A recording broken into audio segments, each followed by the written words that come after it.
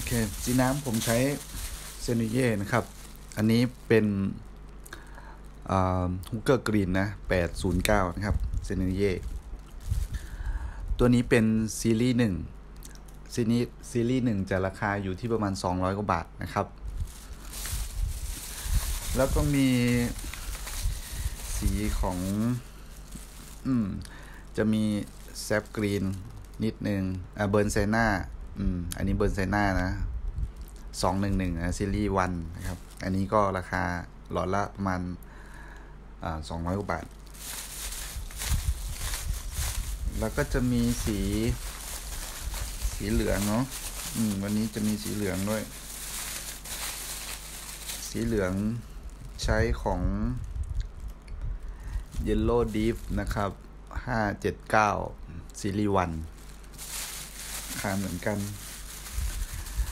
สีส้ม มีส้มด้วยนะครับ สีส้ม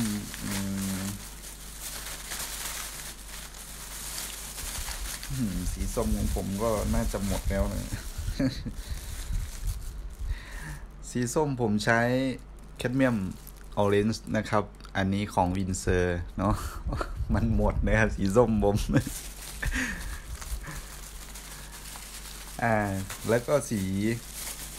สีที่ใช้อีกเนาะก็จะเป็นสีน้ำเงินนะครับ เป็น อ่า สีน้ำเงินของ อืม Prussian blue อะอันนี้ของ Winsor and Newton นะครับ อันนี้หลอดใหญ่ ผสมกันนะครับผมผมใช้ ผสมกันนิดนึง อ่า สีก็จะมีแค่นี้นะครับที่ที่ใช้เขียนวันนี้เนาะ เคท่านท่านได้มาแล้วก็ทักทายกันได้นะครับสำหรับท่านที่มาชมผมใหม่ก็ผมสอนสีน้ำออนไลน์แบบฟรีๆนะครับ ติดตามผมได้ที่แฟนเพจสีน้ำ Watercolor แล้วก็เอกสิทธิ์ Watercolor Painting ช่อง YouTube นะครับ ผมก็จะเอาคลิปสอนนี้ไปลงที่ช่อง YouTube เหมือนกันนะครับ ก็ดูย้อนหลังได้ที่นั่นนะครับ โอเค สวัสดีคุณ กอย่านะครับ สวัสดีทุกท่านที่ติดตามรับชมนะครับ สวัสดีด้วยนะครับ ก็เรามาเริ่มกันเลยนะครับโดยใช้ผู้กันเบอร์หกนะของซากุระ ใครจะใช้ยี่ห้อใดก็ตามสบายนะครับ อันนี้ผมใช้ส่วนตัวผมใช้ตัวนี้นะครับสีใบตองที่มันเป็นห่อหมกเนาะขนมใส่ไส้นะ มันจะเป็นเขียวออกจากแบบ sap green นิดๆนะครับ แต่ว่ามันจะติดเหลืองหน่อยๆติดออกส้มๆนิดๆนะครับ เพราะว่ามันโดนต้มไง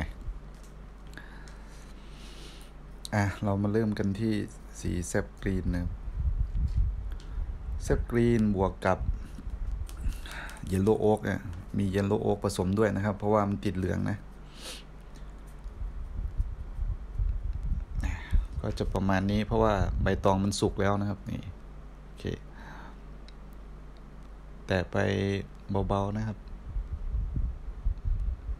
ค่อยๆเกี่ยสีลงมา ตามบริเวณพื้น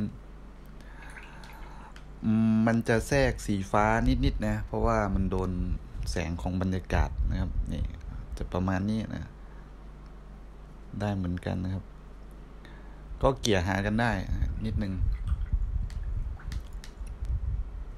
ทีนี้ต้องข้างล่างมันเป็นเงาเนาะมันก็เป็นเงามันก็จะเริ่มเป็นเขียวแซบกรีน เข้มขึ้นมานิดนึง ผสมกับเยลโลโอ๊กนิดหน่อยนะครับ มันจะได้เขียวแบบอดอบสีเขียวความสดของแซบกรีนลงนิดนึงนะครับ เนี่ยมันจะเป็น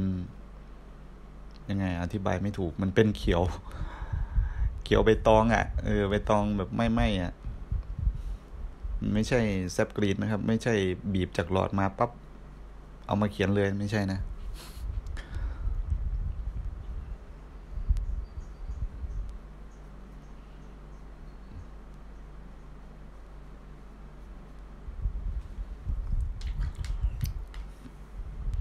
ตรงนี้เรา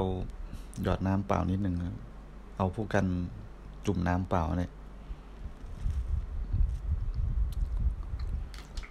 ข้างบนนี้เราเติมสีอีกได้นะครับ เนี่ย มันอาจจะเหลืองไป อืม มันผสมยินโลโอกเยอะไปหน่อยนะครับนี้ก็ลูกน้ำครับ แล้วก็ลากมันลงมานะครับ ลากสีลงมา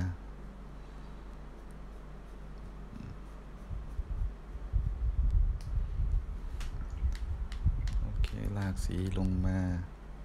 ลากสีเดิมนะครับ สีเยลโล่โอ๊กกับ sap green เนาะลากมันลงมานะครับ เนี่ย สำหรับมือใหม่ให้เกลี่ยเกลี่ยลากเกลี่ยลากแบบนี้นะครับ ลากให้มันลงมาหมดก่อนนะครับ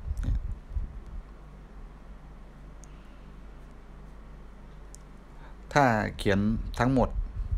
ก็ได้เหมือนกันนะครับ แต่ ถ้าเรามือใหม่ฝึกหัดเราก็เขียนแบบนี้ก่อนนะ เพราะว่าเราจะได้รู้สีมันเป็นการทดลองสีภายในตัวของมันน่ะในตัวของรูป เราไม่จำเป็นที่จะต้องไป แตะสีบริเวณอื่นอย่างเงี้ยเออไม่มีกระดาษทดลองอะไรอย่างเงี้ย อืม เราก็แตะสีผสมสีในจานสีก่อน ให้รู้ว่า เออมันเฉดอะไร นะ ถ้าไม่แน่ใจนะครับเราค่อยมาแตะในบริเวณที่เรา อืม อยากจะทดลองมันก่อนนะครับ นั่นก็คือการเขียนภาพ การทดลองกระดาษเป็นในตัวของมัน ทีนี้มันเป็น Hooker green นะผสมกับเยลโล่โอ๊กมันจะออกไม่เขียวแบบทึมๆนิดนึงนะฮะ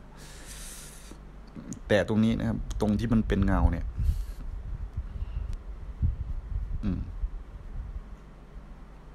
เราต้องแตะแบบรอจังหวะมันด้วยนะครับ ไม่ใช่ว่าไปแตะมันเลยนะครับ เพราะว่ามันจะเกินกันเกินไปนะครับสีมันไม่วิ่งหาเนี่ยมันจะวิ่งหาวิ่งหากันประมาณนี้เนี่ย เราก็ปล่อยมัน อืมปล่อยมันเลยนะครับ ปล่อยมันวิ่งหากัน ถ้ามันแห้ง อืม สีมันแห้งเนี่ย พื้นที่ที่เราเขียนมันแห้งมัน มันจะแต้มต่อไปไม่ได้ มันจะไม่ด่าง มันจะไม่ไหลหากันนะครับ เราต้องรอจังหวะมันนิดนึง แต่ตัวนี้มันสามารถรูปสีออกได้นะ ในบริเวณที่เราไม่ต้องการเนี่ย โดยใช้ผู้กันสะอาดสะอาดลูกน้ำนิดนึงนะครับ ไม่ตองแห้งมันก็จะประมาณนี้ ที่มันโดนต้มแล้วนะ เนี่ย ตรงนี้เราไม่พอใจใช่ไหมเราก็เกี่ยนะรูปน้ำเกี่ยเกี่ยสีออกไปในพื้นที่กว้างๆนิดนึงนะครับ ข้างล่างเปลี่ยนผู้กันนะครับ เป็นเบอร์สองนะ มันจะเป็นเงานะครับ เงาเราใช้สีของอุกเกอร์กรีนนะ ผสมกับดำนิดๆนนะครับ แล้วก็บวกน้ำเงิน เพชรเซมบูนะดำนิดดำนิดหนึ่งนะครับ มันก็จะออกมาเป็นเขียวดีฟนะครับเก็บตรงบริเวณข้างล่างนะครับ มันจะค่อยๆไหลขึ้นไปหา สีแซฟกรีนครั้งแรกของเรานะครับ ถ้าเราไม่รอมันอะ อืม มัน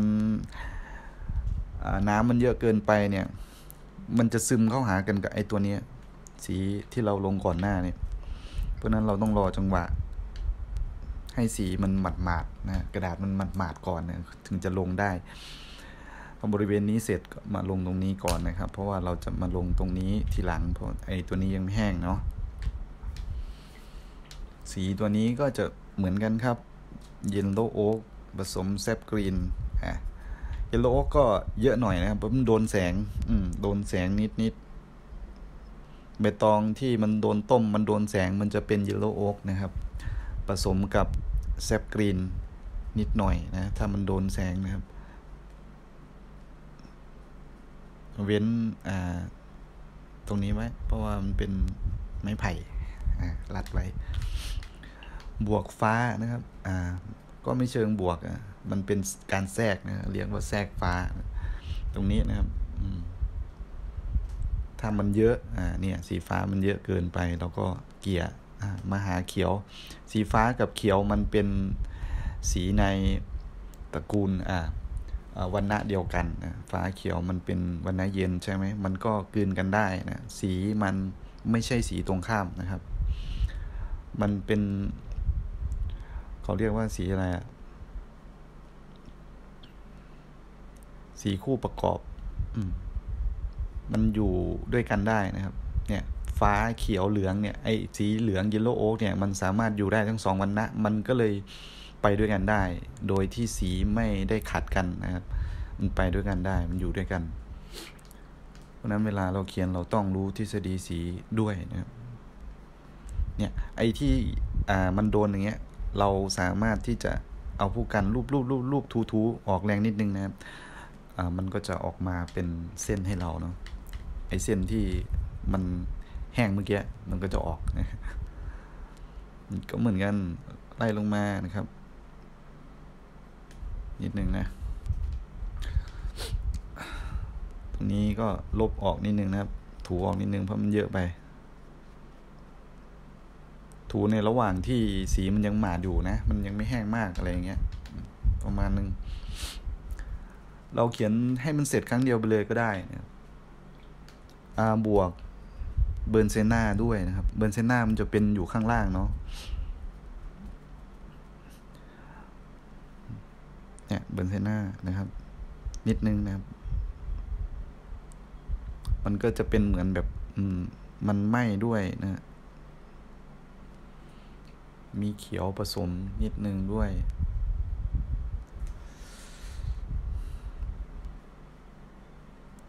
โอเค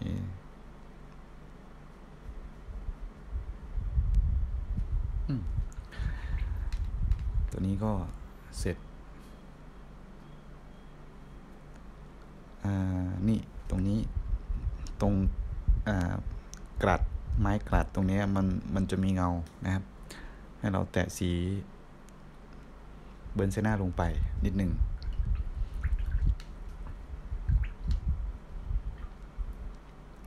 อโอเค ตรงนี้เสร็จแล้วมาเขียนตรงนี้นะครับ นี้ก็เหมือนกันเนาะ เป็น Yellow Oak นะครับ ผสมกับ Sap Green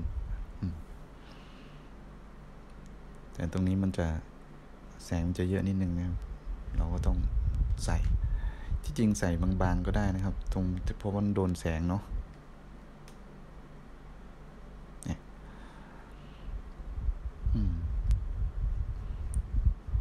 ต้องผสมสีให้แตกตัวนะครับ ถ้ามันไม่แตกตัวเนี่ย มัน มันจะข้นข้นเหมือนเราเขียนอ่าเมื่อวานเนี้ย ที่ผมเขียนโดนัทอะ มันก็จะข้นประมาณนั้นอะ แล้วมันสีไม่แตกตัวนะครับ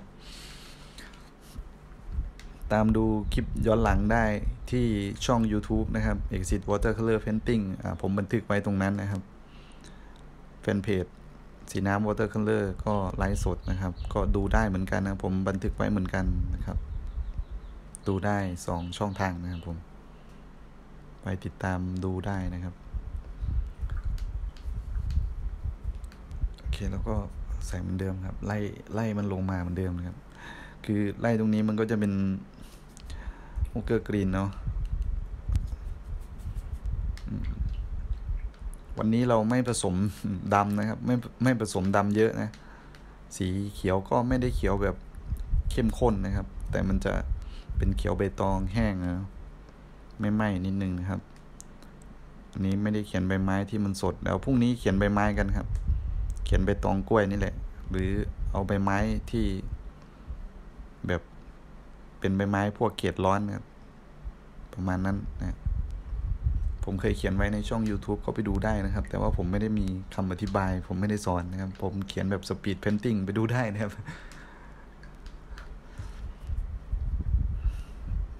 โอ เคตรงนี้มันก็ออกจะสดนิดนึงนะครับ เพราะว่ามันโดนเงา อืม ข้างบนมันจะเป็นแสงนะ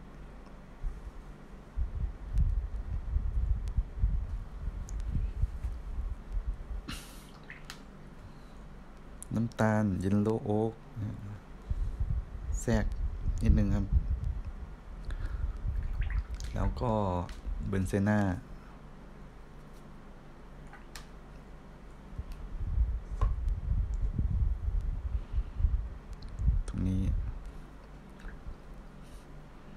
เอาผู้กันซับน้ำออกนะครับ ด้วยกระดาษทิชชู่นั่นแหละเอากระดาษทิชชู่มาไว้ข้างๆนะครับ แล้วก็ซับน้ำออกนะแล้วก็มาค่อยมาเกี่ยนะครับการที่เราซับน้ำออกเนี่ยมันจะช่วยให้ผู้กันเนี่ยไม่มีน้ำขังเวลาเราไปแตะโดนภาพของเราเนี่ยน้ำมันจะอยู่ปลายผู้กันนิดๆเนี่ยมันจะเป็นก้อนน้ำนะครับ มันจะหยดใส่เนื้องานของเรา มันจะแบบด่างเยอะเกินไปนะ ต้องเราเราต้องระวังนะเรื่องนี้ก็สำคัญนะสำหรับคนมือใหม่เริ่มต้นนะครับ ต้องเข้าใจ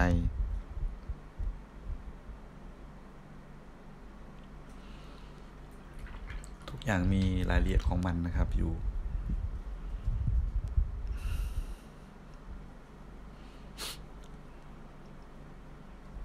ตรงนี้เราก็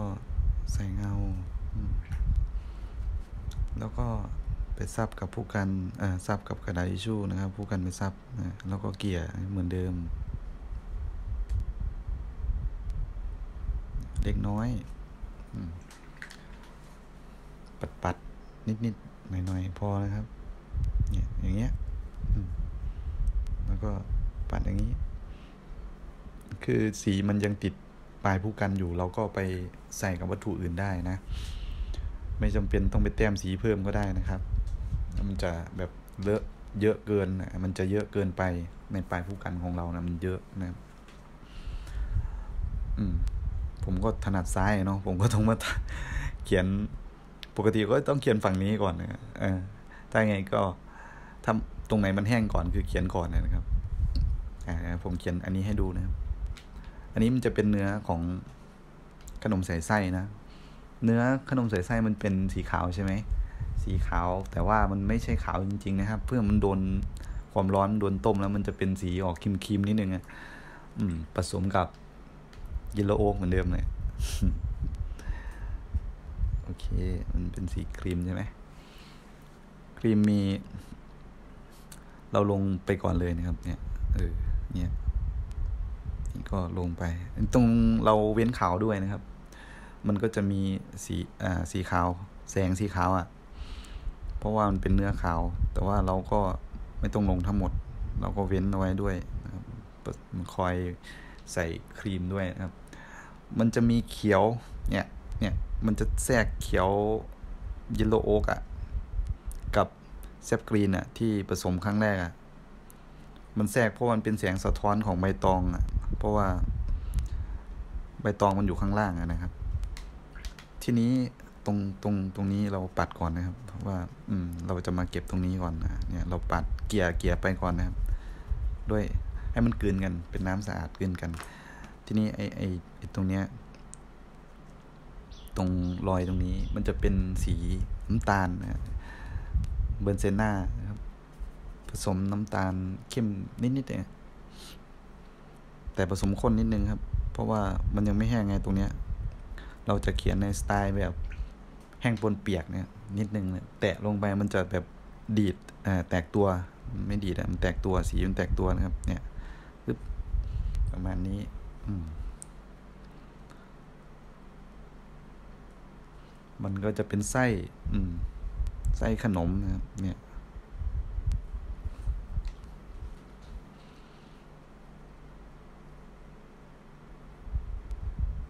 อันนี้ เกี่ยวมานิดนึงโอเคประมาณนี้นะครับ ตรงนี้เสร็จแล้วอะเรามาเริ่มกันที่พื้นที่กว้างของมันนะครับ พื้นที่กว้างก็ใส่สีครีมลงไปเหมือนเดิม อืม เว้นขาวข้างบนเอาไว้นะครับ เนี่ยเราก็ปัดให้มันทั่วก่อนนะครับ คือรูปน้ำให้มันทั่วก่อน เพราะว่าเราจะเขียนเทคนิค ห้งปนเปียกเหมือนเดิมนะครับ แต่ตรงนี้เราจะเขียนไส้มัน ทีนี้ก็น้ำตาลนะครับ เหมือนเส้นหน้าก่อนนะครับรูปรูปรูปไปก่อนนะครับ สีเนื้อสีมันมันจะแตกตัว ทีนี้ก็จะเป็นน้ำตาลดำนิดนึงนะครับ เป็นน้ำตาลไม่ไหม้อะนิดนึง คือเบอร์นไซน่าผสมกับสีม่วงก็ได้นะครับ มันก็จะเป็นน้ำตาลดำนิดนึงออกแบบนี้อ่ามันจะแทรกม่วงเข้าไปม่วงแดงนะครับ มันจะเป็นเหมือนแบบไส้อะมันก็ตระกูลเดียวกันกับสีเบอร์เซน่านะครับ แต่ว่ามันผสมแดงนิดนิดหน่อย ผสมแดงมากหน่อยเออไม่ใช่นิดหน่อย ตรงนี้ก็เป็นอ่าyellow ochre นะ yellow ochre นี่ตรงนี้จะเป็นเยลโล่โอ๊กเนี่ยเนื้อสีมันไม่สะอาด โอเค ตรงนี้จะเป็นขนมใส่ไส้แล้วเนื้อเนื้อไส้ของมันนะตรงนี้เอาน้ำรูปออก อ๋อผมมองแบบไปด้วยครับ พอดีผมแผนกล้องไปไม่ได้ แบบผมอยู่อีกมุมหนึ่งนะครับ ต้องต้องขอโทษด้วยนะครับ เขียนตามแบบนะครับ มือใหม่ก็ต้องเขียนตามแบบเหมือนกันนะครับ จินตนาการล้วนๆนี่ไม่รู้จักสีนะครับ เราต้องมีแบบ ตรงนี้มันมันจะติดเป็นเงาเนาะเราเปลี่ยนผู้กันนะครับ เป็นเบอร์สองนะแต่ว่าให้เราใส่สีน้ำตาลนะครับเบนเซน่าผสมกับม่วงแดงนะครับ นิดนึง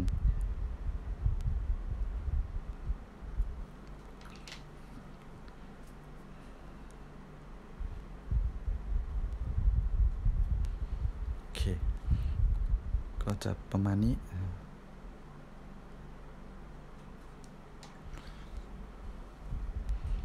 ตรงนี้เรามาลบคมออกทีหลังได้เนี่ย บริเวณที่มันคมคมแบบนี้นะครับ โอเค ตรงนี้เราก็เกี่ยตรงนี้มันจะเป็นเขียวเนาะ เพราะว่ามันเป็นสีของใบตอง มันเป็นแสงสะท้อนนะครับ เราก็ใส่แทรกเข้าไปนิดนึง เห็นไหมมันจะมีน้ำขังอยู่นะครับ เราต้องซับกับกระดาษทิชชู่ก่อนนะ ประมาณนี้เนี่ย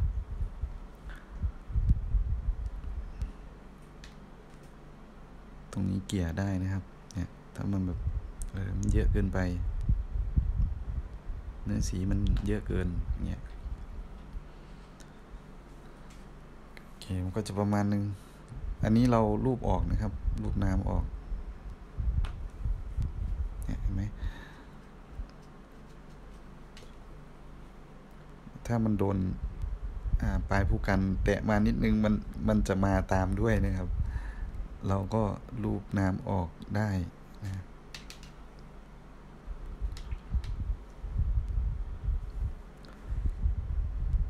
ตรงนี้ก็เหมือนกัน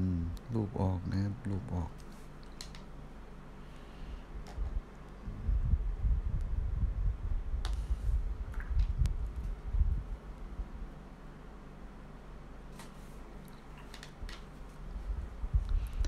ถ้าตรงนี้แห้งแล้วนะพอมันหมาดแล้วเรามาลูบน้ำออกนิดนึงนะครับ ลบความคมของมันนะ ถ้าเป็นกระดาษใยฝ้ายเราก็แตะไปเลยนะครับ เราไม่ต้องมาลบออก เพราะว่าเราเขียนเปียกปนเปียกมันก็จะกืนหากันสวยงามนะ แต่ว่าตัวนี้เราต้องเขียนแบบระวังนิดหนึ่งเพราะว่ามัน พอมันแห้งมันก็แห้งเลยนะพอมันจะด่างมันจะ มันก็ด่างแบบด่างแรงพอจะฟุ้งมันก็ฟุ้งแรงนะเราต้องคุมน้ำให้มันอยู่อะ คือคุณต้องรู้จังหวะมันนะอืม ถ้าไม่รู้จังหวะ ควบคุมจังหวะยังไม่ได้ แนะนำว่าแห้งเสร็จปุ๊บเกียร์นะครับสำหรับมือใหม่นะ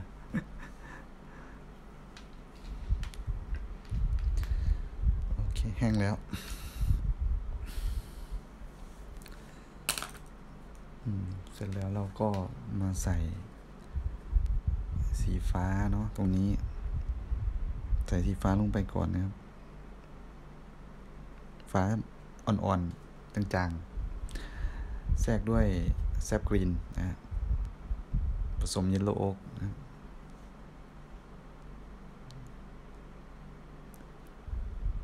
นิดหนึ่งตรงนี้มันจะเป็นไป ที่มันโดนเงานะครับ เราก็ใส่สีเข้มไปก่อน ตรงนี้จะเป็นเยลโลโอ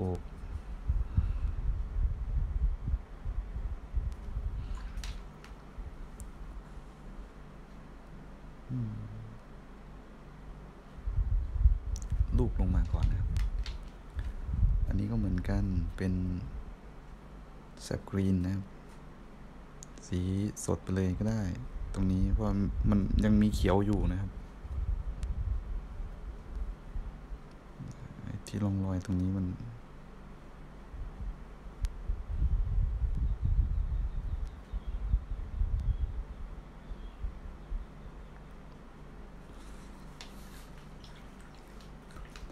โอเคตรงนี้เรามาเก็บที่หลังนะครับ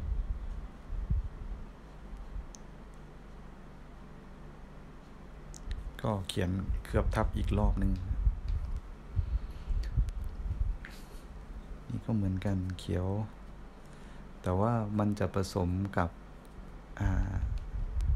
สีน้ำเงินนะครับเพสเซมบูนิดนึง ตรงไปปลายมัน ตรงนี้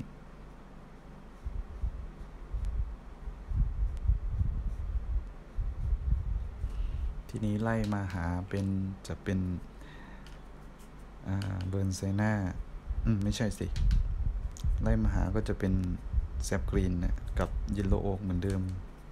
แต่ว่าจะผสมแซบกรีนเพิ่มขึ้นมานิดนึงนะครับ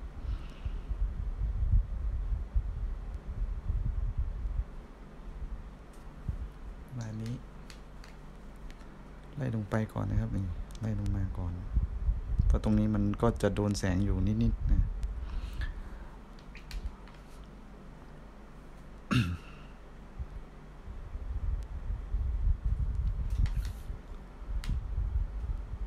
สร็จแล้วก็จะเป็น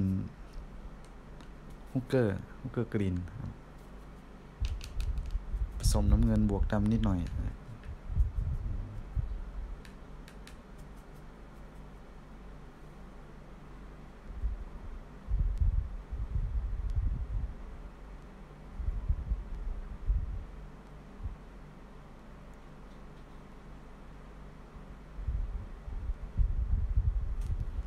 ประมาณนี้ครับ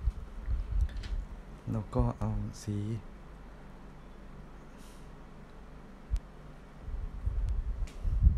แซบ กรีนนะครับกับเยนโลโอ๊กมาเกี่ยตรงนี้นิดนึง ให้มันกลืนมาหากัน ถ้ามันตรงเงามันแรงเกินไปเราปัดมันลงมาครับ ให้มันอยู่ข้างล่าง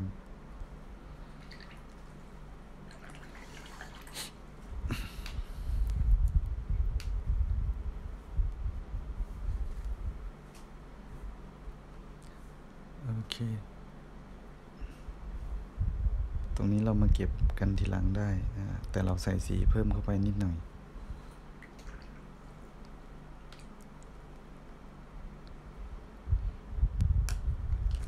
เปลี่ยนผู้กันเป็นเบอร์สองเอาเขียนตรงนี้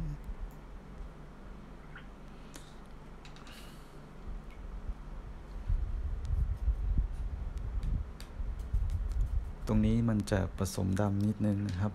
แซบกรีน ผสมกับยินโลโอ๊ก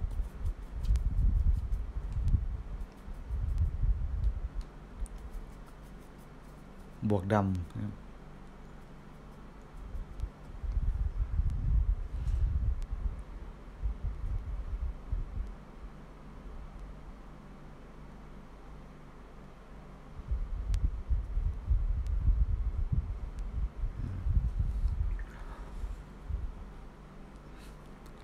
ขีดขีดขึ้นไปนะครับ ตรงนี้ ทีนี้ก็จะเป็นสีแซบกรีนนะผสมกับยินโลโอกเหมือนเดิม เกี่ยลงมานะครับ เพราะว่ามันจะโดนแสงแล้ว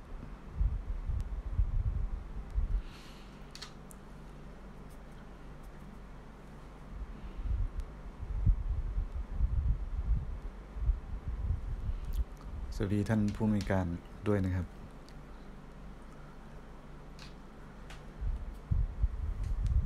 ตรงนี้ก็เราก็เกี่ยลงมาเป็นสี แซบกรีนนะครับ บวกกับน้ำเงินนิด ๆ นะครับ แตะดำนิดหนึ่งเกี่ยนะครับ เหมือนเดิม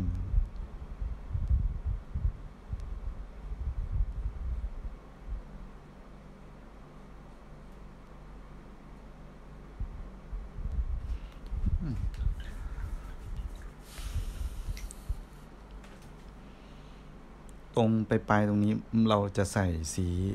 เยลโล่โอ๊กนะครับ เพราะมันเป็นแสง มันมันจะไม่แบบอันนี้เยอะเกินไปนะ แต่แต่รอให้มันแห้งก่อนนะครับ เนี่ยตรงนี้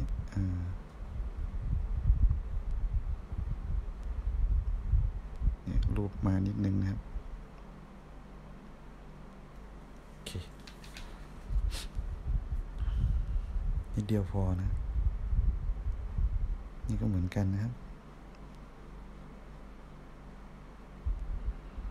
อืม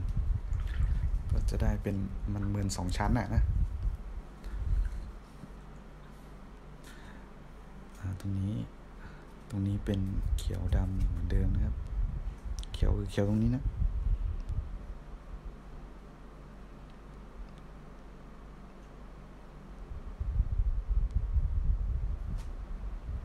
วันนี้วันนี้ไลฟ์ในห้องแอร์ก็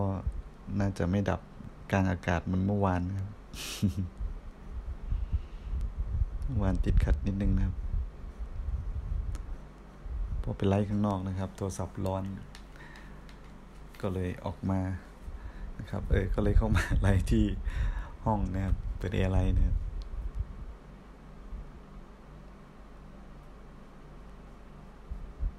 สำหรับท่านใดที่มาไม่ทันไลฟ์นะครับ ก็ดูย้อนหลังได้ที่ช่อง YouTube Watercolor นะครับเอกสิทธิ์ Watercolor Painting นะ ชื่อยาวนิดนึงครับ ก็ผมบันทึกไลฟ์ไว้ตรงนั้นนะครับ หรือในแฟนเพจผมก็ได้นะครับ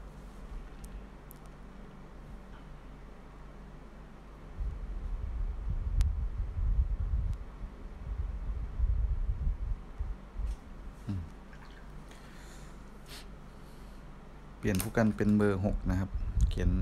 พื้นที่อื่น ตรงนี้จะเป็นออกสีเดิมนะครับ ก็คือ yellow ochre ผสมกับ sap green แต่ว่าจะเป็นเยลโลโอ๊กเยอะกว่านะ เยอะกว่าสี sap green นะในอัตราส่วน 60 40อ่าก็จะได้ประมาณนี้นะครับ มันก็จะเปออกเขียวนิดๆเนี่ยจะเขียวอ่อนก็ไม่ใช่ จะเยลโลโอ๊กน้ำตาลอ่อนก็ไม่ใช่นะครับ มันจะเป็นเขียวเขียว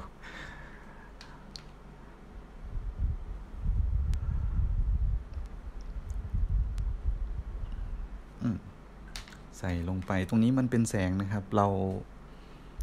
อ่าผู้กันเปล่าๆเกียร์นะอ่าเกียร์มา เสร็จปุ๊บก็เอาสีเดิมนะครับ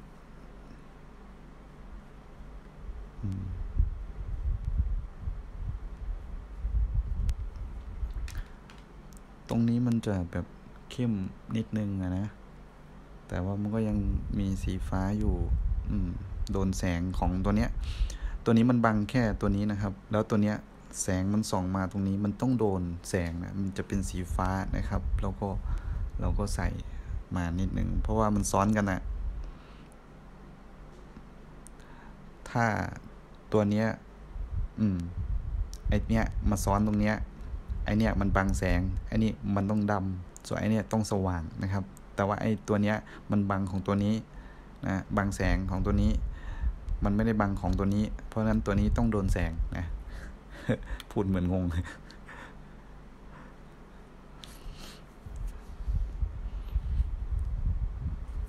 กำหนดทิศทางแสงนะดูแสงนะครับ แสงเข้าฝั่งนู้นนะครับเนี่ยแสงมันเข้ามาฝั่งนี้ อันนี้จะเป็นเงา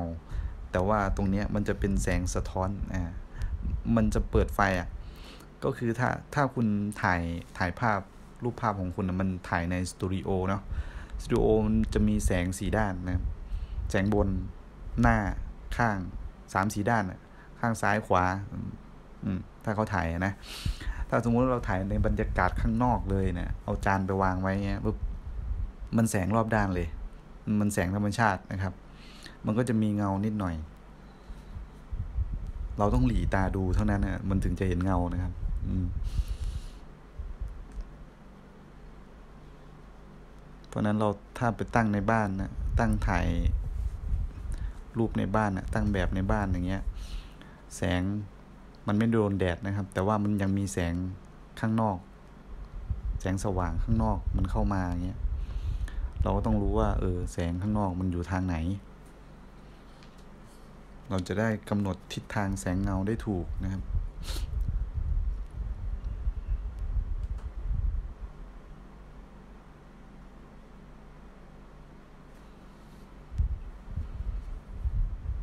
ตรงนี้ก็ลูบออก เพราะมันเข้มไป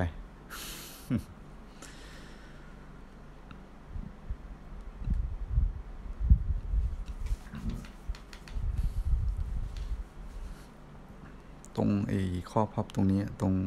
ตรงพับตรงนี้มันจะโดนเงานะครับ เดี๋ยวเราค่อยมาเพิ่มน้ำหนักเมื่อมันแห้ง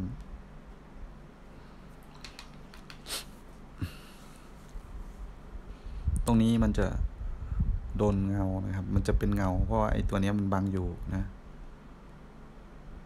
เพราะฉะนั้นให้เราใช้สีsap green ผสม yellow ochre นิดนึงนะฮะอืมเนี่ยมันก็จะประมาณนี้ แต่ยังมีเยลโลโอ๊กอยู่นะครับ ไม่ใช่ sap green ทั้งหลอดนะไม่ใช่นะครับ ทุกสีต้องผสมนะครับ นอกจากสีแทรกนะสีแทรกอาจจะเป็นสีฟ้า อย่างที่ผมแทรกเมื่อกี้มันเป็นสีฟ้า สีฟ้าไม่ได้ผสมสีอื่นๆนะครับ เพราะสีฟ้าเป็นสีที่เราเอามาแทรกเราเรียกสีบรรยากาศเอาสีบรรยากาศมาแทรกนะครับ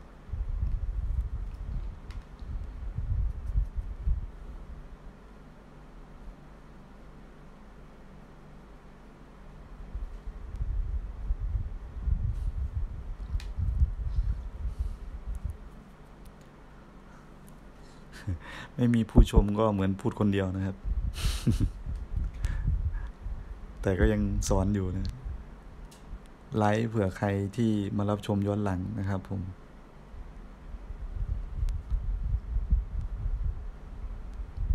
เด็กๆนักเรียน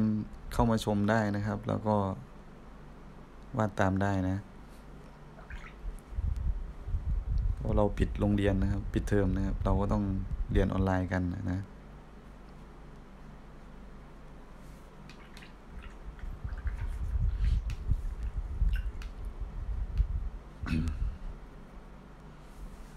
นี่ก็เหมือนกันนะครับ อันนี้จะออกแบบ อืมยินโลโอกเยอะนิดนึงยินโลโอกอืมแชร์ stream ไลฟ์สดได้นะครับ เพราะว่า ให้เพื่อนๆได้ดูกันด้วยนะครับ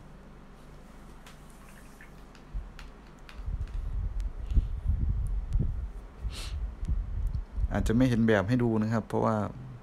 แบบผมเปิดในคอมพิวเตอร์นะครับ คอมพิวเตอร์อยู่อีกด้านหนึ่งนะครับ ก็ผมจะอธิบายสีให้ให้ฟังแล้วกันเนาะ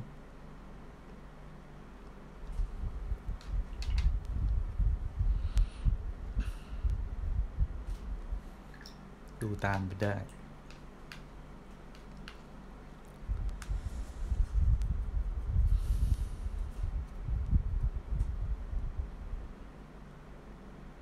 ตรงนี้มันจะเป็นโดนเงานะครับ เราก็เพิ่มน้ำหนักสีเข้าไปนิดนึง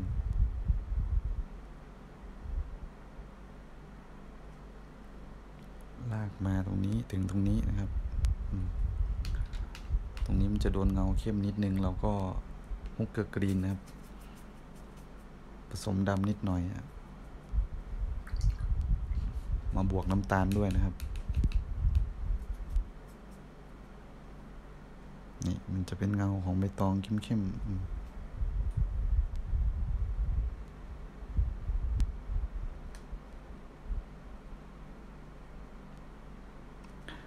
ตรงนี้ให้เรารีบเขียนนะ เนี่ยตรงนี้เนี่ยเนี่ยรีบเกี่ยมานะครับ เพราะมันจะแห้งแล้ว ออกแรงนิดนึงนะครับ แล้วก็เกี่ยใหม่นะครับ เพราะมันแห้ง แห้งไวนะ ตรงนี้เป็นเยลโลโอ๊ก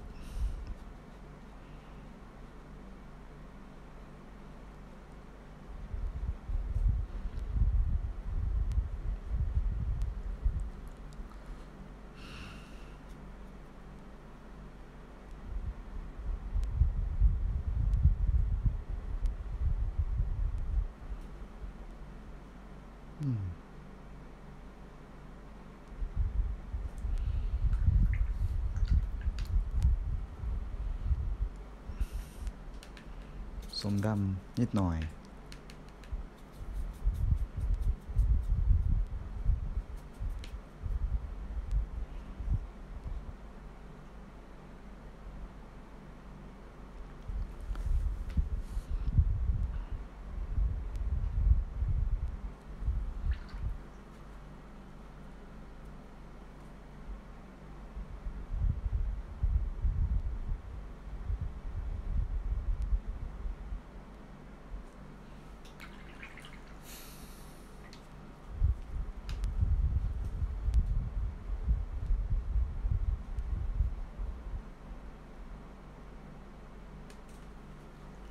นไปนะครับ เป็น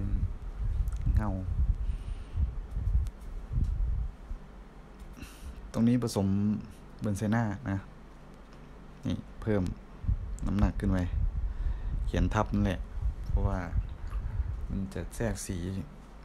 เบนเซน่าด้วยนะครับ เมื่อกี้ไม่ได้แทรกนะ ถ้าเราผสมสีผิดก็ เนี่ยจะอยู่ประมาณเนี้ย อืม เราก็ต้องรีบแก้มันนะ ถ้าเกิดว่าเราทำสีผิดนะครับ แต่ว่าสีผิดก็คือสีในเฉดเดียวกันนะนะ มันสามารถที่จะเขียนทับกันได้นะครับ แก้ได้ แต่เราต้องเขียนบางๆก่อนอันดับแรกเนาะ เหมือนเป็นการทดลองสีด้วยในตัว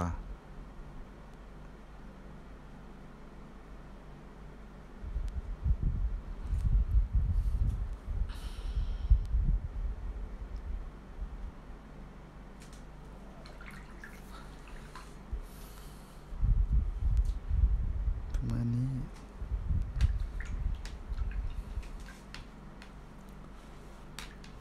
ใบ ตองข้างล่างก็จะเป็นยินโลโอ๊กผสมกับสกรีนเหมือนเดิม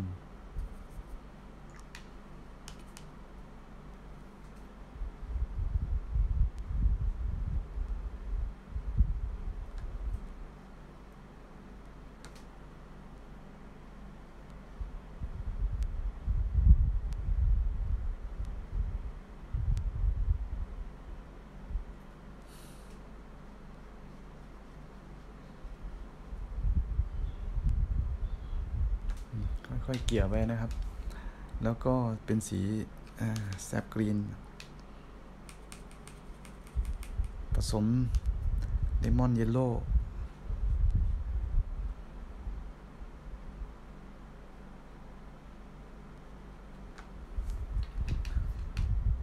แล้วก็มาใส่สีเดิมนะครับ เฉดสีมันก็จะมีความแตกต่างกันนิดหน่อย อันนี้โอเคตรง พื้นที่ตรงนี้มันเป็นเงานะครับ ให้เราใช้สีฮุกเกอร์กรีนปาดปืดปั๊บแบบเสร็จ แล้วก็เกียร์นะครับ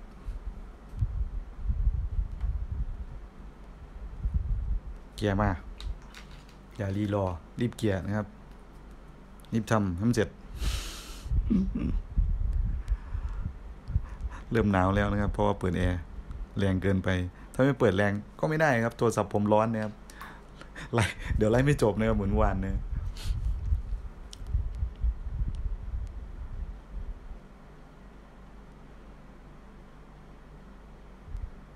อืมอันนี้นะครับ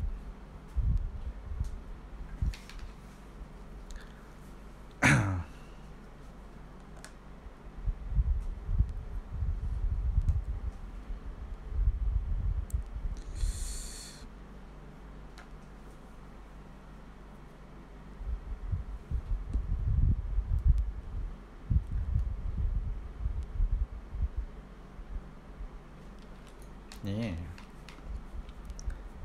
ใครเขียนตามอย่าลืมส่งกันบ้านด้วยนะครับ ก็ใต้คอมเมนต์เลยนะครับ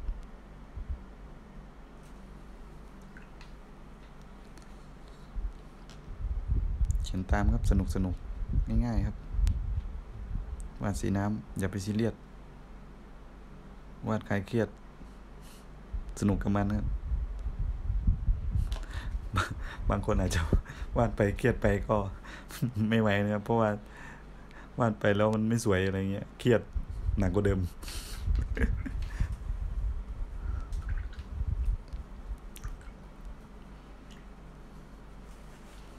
อะตรงนี้มันเป็นเงาเนะเดี๋ยวเดี๋ยวเราค่อยมาใส่ก็แล้วกันเนาะมันเกียร์ที่หลังได้ เดี๋ยวเดี๋ยวมันจะพังกันเดี๋ยวใส่ให้ดูก็ได้นะครับ ใส่เข้ามานิดนึง แทรกเข้าไปนิดๆคิดเข้าไปอีกหน่อย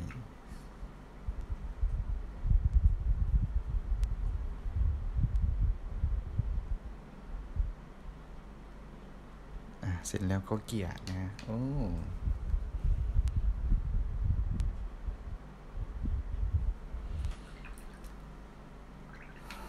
รอยแห้งจ้า ตรงนี้แห้งหรือยัง ยังไม่แห้ง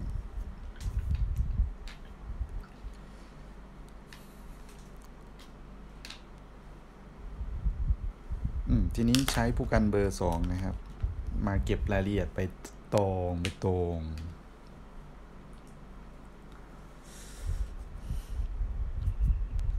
เงาของใบตองมันจะเป็น Hooker green นะ ผสม yellow ochre มันก็กึ่งกึ่ง sap green นั่นแหละ เรียกได้ว่าน้อง sap green ก็ว่าได้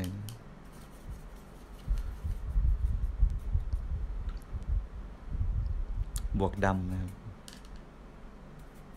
เพิ่มความทึมๆเข้าไป ให้มันออกดิบๆนิดนึงนะครับ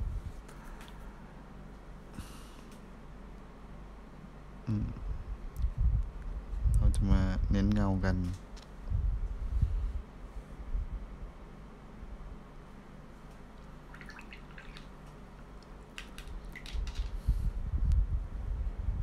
ตรงนี้แตะเบาๆนิดนึงนะครับปึ๊บประมาณนี้ แล้วก็น้ำรูปนะครับ น้ำเปล่ารูปเพราะมันโดนแสงเราไม่ต้องแตะเยอะนะครับ ส่วนตรงนี้ก็เหมือนกันตรงนี้มันจะโดนเงานิดนึง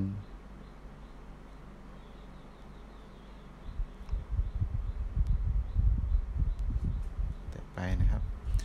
แล้วก็เกียร์นะครับเกียร์น้ำเปล่าเกียร์เกียร์สี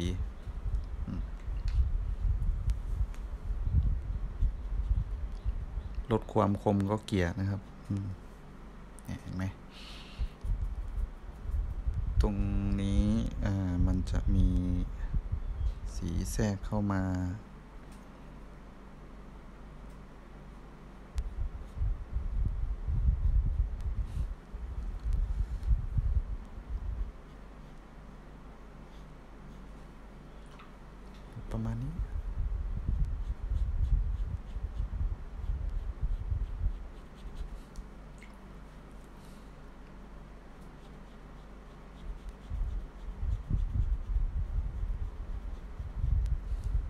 เกียร์ลงมาก่อนนะครับ นี่ก็เหมือนกัน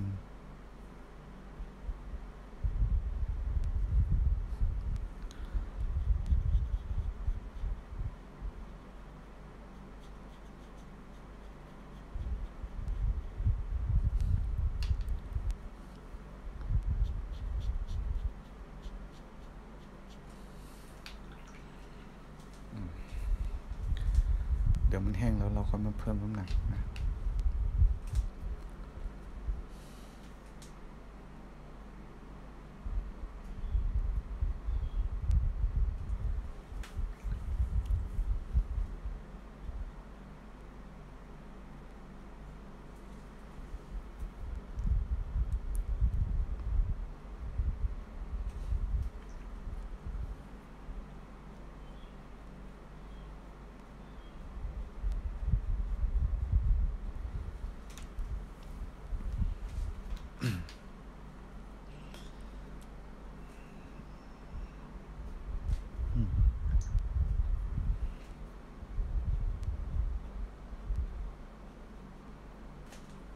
ขอบคุณที่ยังดูผมอยู่นะครับ ยังอยู่กับผมหกคนนะครับหกท่านนะ จะได้ไม่เหงานะครับผมวาดคนเดียวแล้วก็ คุยคนเดียวนะ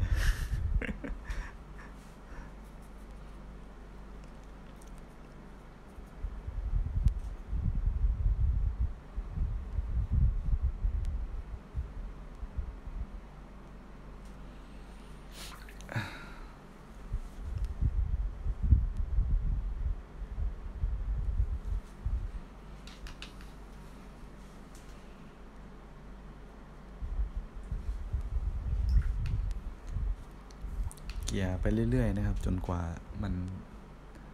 มีความเข้มข้น จนมันสวยนั่นแหละที่จริงมันก็สวยแล้วนะครับ เพราะว่ามันห้าโมงจะเที่ยงแล้วมันสวยแล้วนะ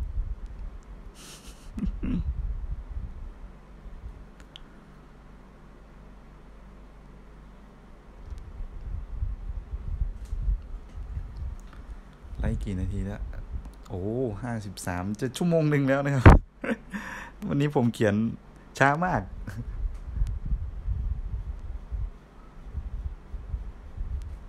นึกว่าตัวเองไลฟ์ครึ่งชั่วโมงนะนี่ปลาเป็นชั่วโมงจะชั่วโมงหนึ่งแล้วเนี่ย ก็เราลองพื้นเสร็จแล้วนะครับ นี่ก็คือเป็นการเก็บรายละเอียดนะ เออ เดี๋ยวมันก็เสร็จแล้ว ปกติก็ ขียนภาพแบบนี้อย่ามันเกินชั่วโมงนะครับอันนี้จะชั่วโมงหนึ่งแล้วนะไม่น่าท่านผู้ชมหายหมดนะครับปกติอ่าคนจะดูอ่าคนจะดูไม่ถึงสามสิบนาทีนะปกตินะครับ ถ้าคนดูวิดีโอจริงๆนะครับ ถ้าคนชอบจริง ๆ ถึงจะดูจบนะ ดูแบบ อืมจนจบไลฟ์แต่ถ้า รที่เข้ามาดูแบบอืมแป๊บเดียวรอดูภาพดีกว่า อะไรอย่างนี้ก็มีนะเพราะมันนานนะครับ การเขียนภาพนี้มันต้องใช้เวลานะงานศิลปะทุกอย่างใช้เวลานะครับผม อยากให้สวยก็ต้องใจเย็นๆกับมันนิดนึงนะครับคนทำงานศิลปะรู้ดีนะครับว่ามันต้องใช้เวลานะถ้าอยากสวยก็ต้อง แม่เราก็ต้องพิธีพิถันในงานนิดนึงนะครับ ไม่นิดนะมากด้วยนะครับ ใส่ใจกับมันทุกอย่างมันจะออกมาดีนะครับ ไม่ว่างานอะไรนะครับ ถ้าเรามีความตั้งใจใส่ใจกับผลงานของเรานะมันก็จะผลงานของเราจะออกมาดีนะครับ ผมเชื่ออย่างนั้นนะแล้วมันก็เป็นจริงนะครับผม ศิลปะมันสามารถฝึกสมาธิของคุณได้นะครับ เราก็ลองดูนะทำให้เราใจเย็นเพิ่มมากขึ้นนะครับ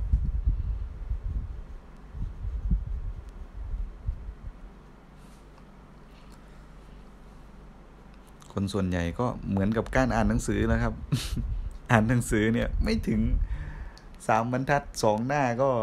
จะหลับแล้วนะ ถ้าคนไม่ชอบจริง ๆ ก็เหมือนคนดูวิดีโอนะครับวิดีโอมันแบบนะ วิดีโอแบบที่เขาไม่ชอบอย่างเงี้ย หรือวิดีโอที่มันน่าเบื่ออะไรอย่างเงี้ย มีแต่คำพูด แล้วก็ผมก็เขียนให้ดูประมาณนี้ก็อาจจะออกกันไปได้ ก็ไม่เป็นไรนะครับ มา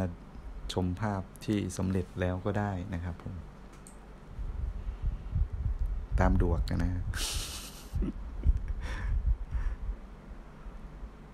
โอเค ตรงนี้แต่นิดนึงเพราะว่าตรงนี้มันจะแบบ โดนเงาอะเนาะมันจะกืน อืมกืนกับพื้น ไอ้ตรงนี้ อะ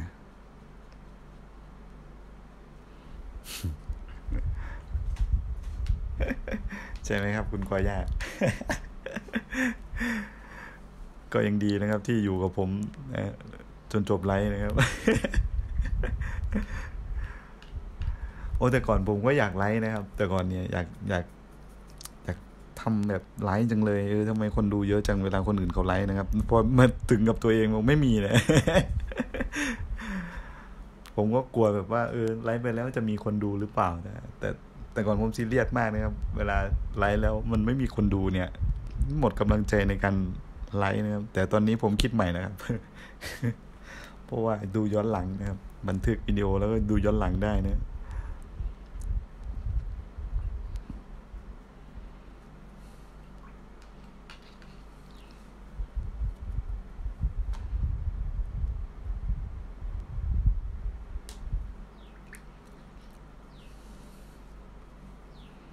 อ้คุณกอย่ากลายเป็นแฟนตัวยงเพจผมไปตั้งแต่เมื่อไหร่ครับเดี๋ยวนี้แฟนเพจเขามี ไอ้โลโก้หัวเป็นแฟนตัวยงแล้วครับ ผมก็เพิ่งสังเกตเห็นนะครับเนี่ย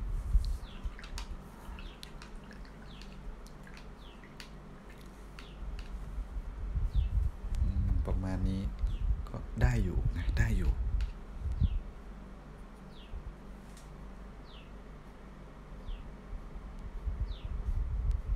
ก็ตอน ค่ำๆผมก็ไปดูไลฟ์ของท่านอื่นนะครับ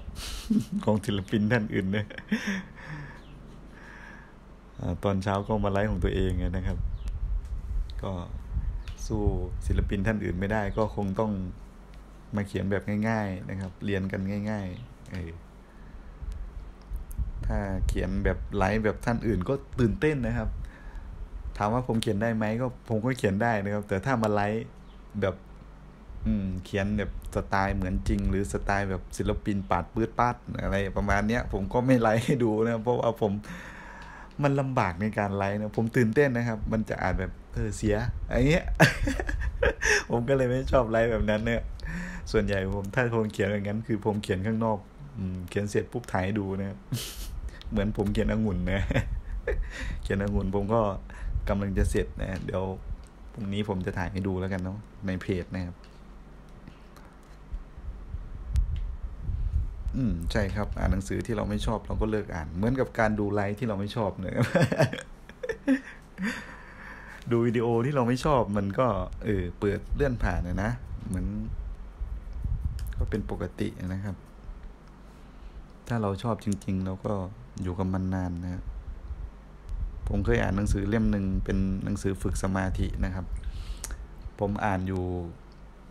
สองรอบนะครับ ความหนาอยู่ที่สองร้อยห้าสิบหกหน้า อ่านสองรอบนะครับ ไม่ใช่อ่านสองรอบ อ่านสองครั้งนะครับ อ่านสองครั้ง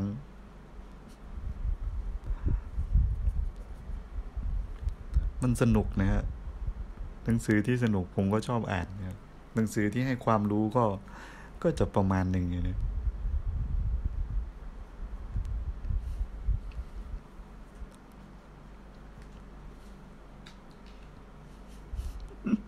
เหมือนมันเหมือนไลฟ์ก่อนๆนะครับผมก็ชอบ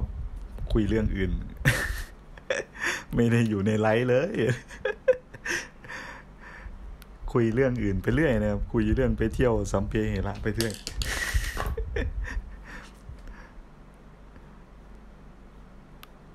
คุยไปข้ามเวลาไปนะครับคือตาดูก็หูฟังผมพูดเนี่ย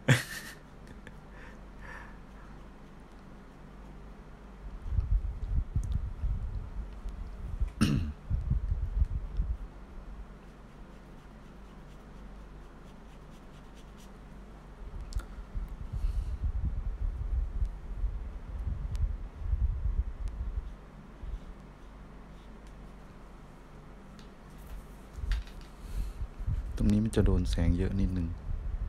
เงาไม่ค่อยมีนะครับ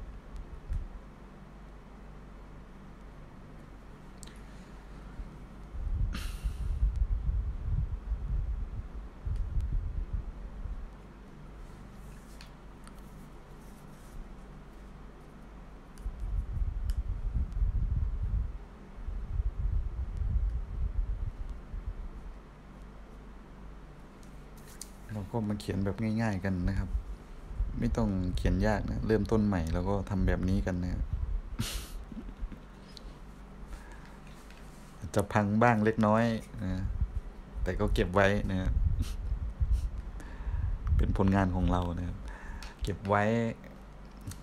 ว่าตัวเองทำถึงไหนแล้วนะครับ เก็บไว้ดูย้อนหลังว่าพัฒนาการของเราเป็นแบบไหนนะ จะได้รู้ว่าความสามารถของเรามันพัฒนาหรือด้อยลงเนี่ย เพราะนั้นเก็บผลงานเอาไว้นะครับ เวลาใครวาดเสร็จปุ๊บติชมผมได้นะครับผม แนะนำผมได้นะครับ ว่าควรเพิ่มเติมตรงไหนอะไรยังไง ได้นะครับ ผ่านไลฟ์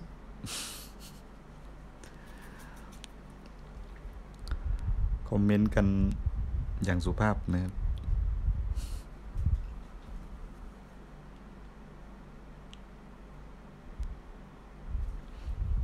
เขียนเสร็จผมก็จะเอาไปโพสต์ลง YouTube นะครับ เพื่อบางท่านอาจจะติดตามผมใน YouTube นะครับ ก็ไปดูที่ YouTube ได้ อาจจะยาวนิดนึงนะครับ ผมอาจจะไปแบบสปีดวิดีโอก็ได้นะครับใน YouTube เพราะถ้ามันนานเกินไปมันก็ คนก็จะดูไม่จบกันนะฮะ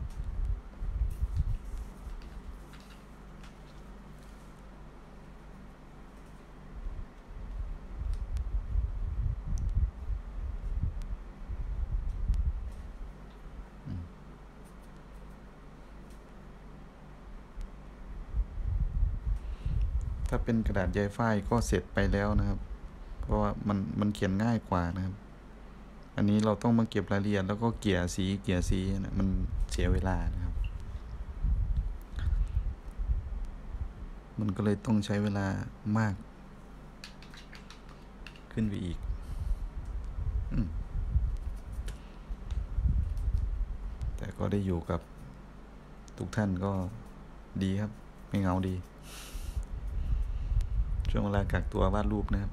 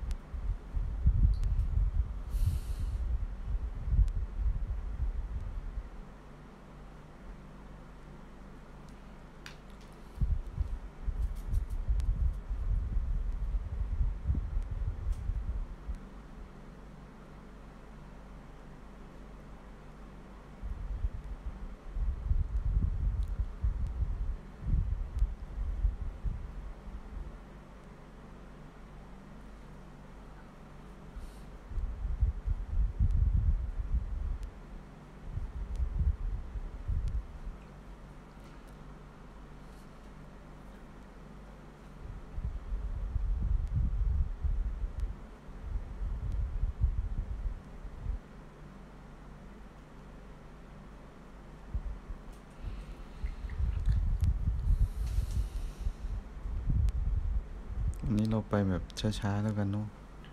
ช้ามาก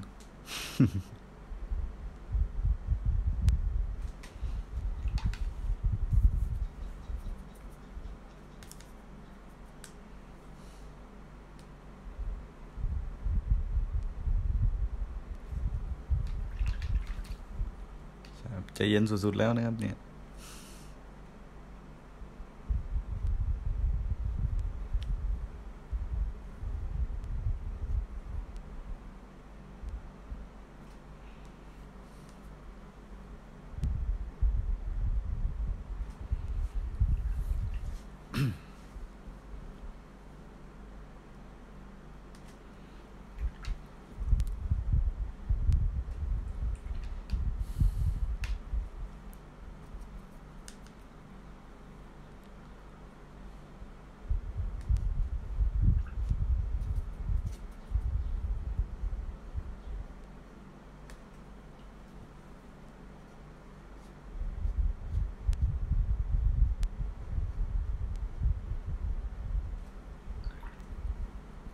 โอเค ได้มาประมาณหนึ่ง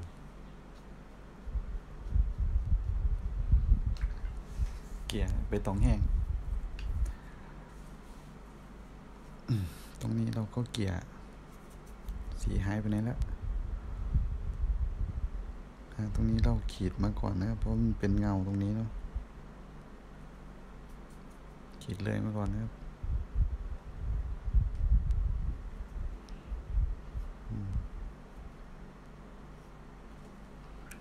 ทีนี้เราก็มาเกียร์นะครับ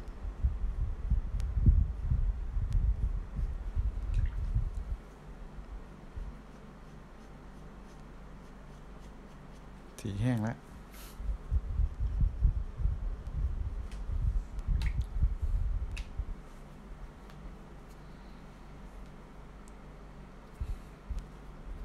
เขียนไม่ตรงนี่มันก็จะเขียนยากนิดนึงนะ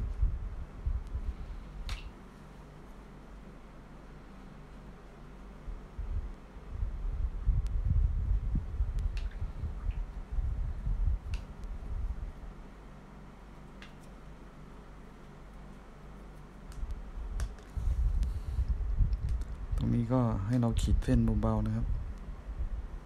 เป็นเส้นของใบตองอะเนาะ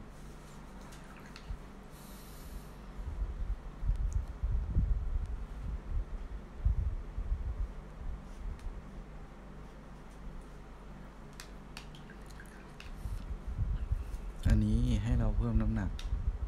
ตรงข้างล่างของเนื้อขนมใส่ไส้นะครับตรงนี้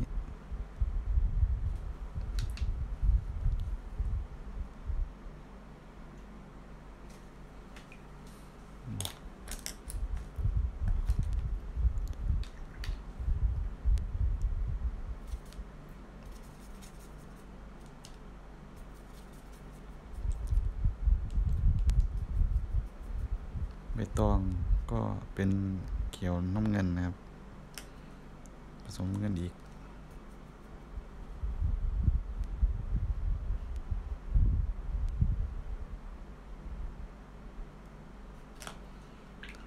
โอเค แล้วก็บวก ดำนิดหน่อยนะครับ ข้างล่าง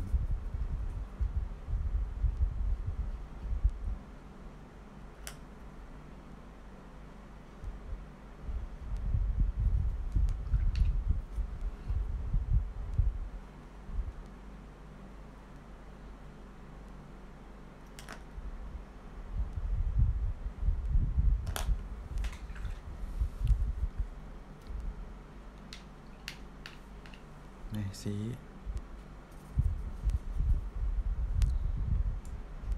เพิ่มสีนะครับ เพราะว่า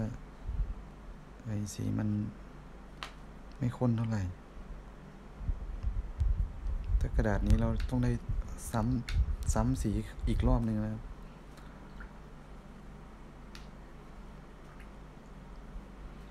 ขอบคุณเอื้องด้วยนะครับ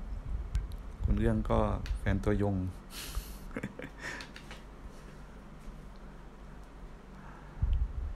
ตรง นี้เราก็มาซ้ำสีเพิ่มนะครับ เพราะว่าเราจะต้องเพิ่มน้ำหนักของมัน เนี่ย ถ้ากระดาษเรนซองเนี่ย มันจะต้องได้เพิ่มสีนะครับ เพราะมันดูดสีลงไป สีมันจะออก พอมันแห้งแล้วมันจะไม่สดนะครับ มันไม่เหมือนกระดาษใยฝ้ายเนาะ แห้งเสร็จปุ๊บสีมันก็จะลอยขึ้นมา เด่นขึ้นมา ใส แต่นนี้เราต้องมาซ้ำ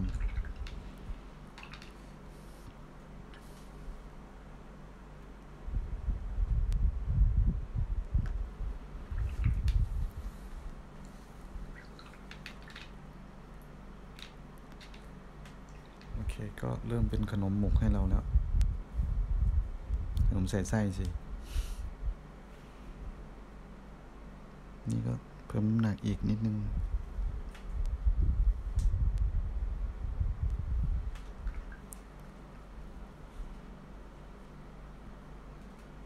ตรงน้ำตาลตรงนี้ ตรงไส้มันนะครับ เราก็เพิ่มน้ำหนักอีกหน่อยหนึ่ง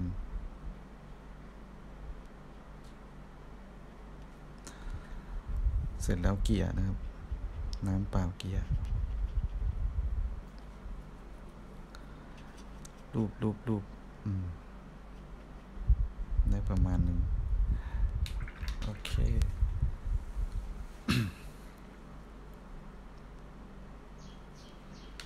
วาดตามได้เลยนะครับ แล้วก็ ยังไงก็ส่งมาให้ดูด้วยนะครับ เพื่อจะได้แนะนำได้บ้างเพื่อแนะนำได้บ้างนะครับ ผมก็ได้แค่นี้นะครับ เหมือนกัน ในส่วนของไลท์นะครับ แต่ว่าถ้าเขียนใน ไม่ได้ไลท์นะ ก็อีกแบบหนึ่งนะครับ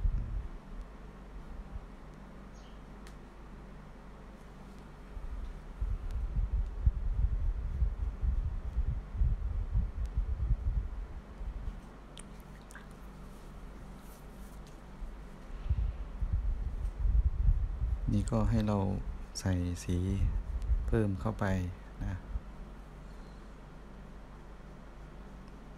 ขอบคุณคุณกอย่านะครับ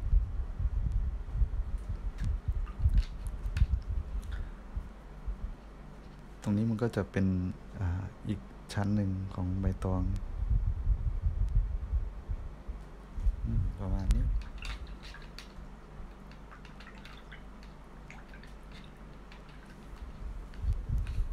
โอเค นะครับ ก็เสร็จประมาณนี้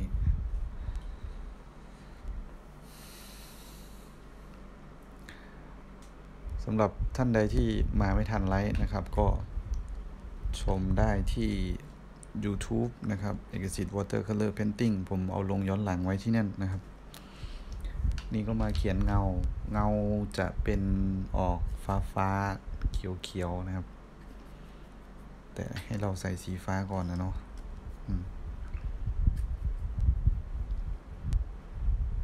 ตรงนี้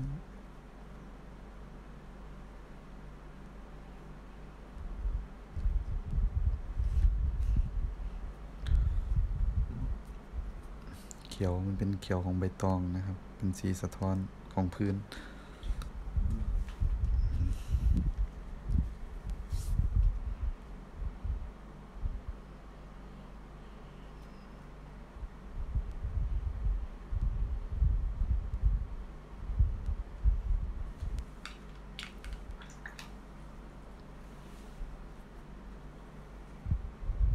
เหมือนกันนะครับ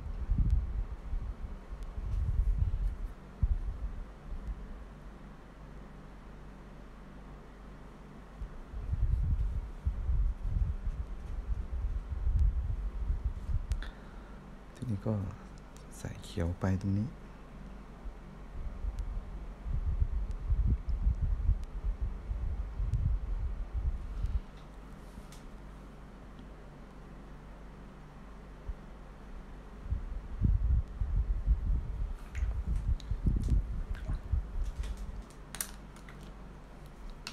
ตรงนี้ให้เราเขียวดำนะครับ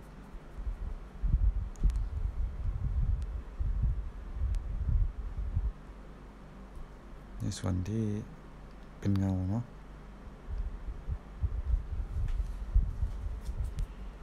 เขียนในตอนที่อ่ามันหมาดอยู่นะฮะ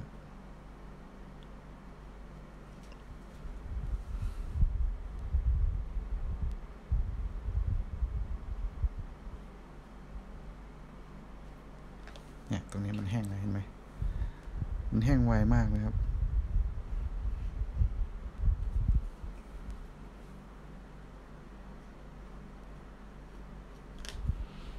การเขียนสีน้ำนี่กระดาษก็สำคัญเหมือนกัน สีก็สำคัญ ฝีมือด้วย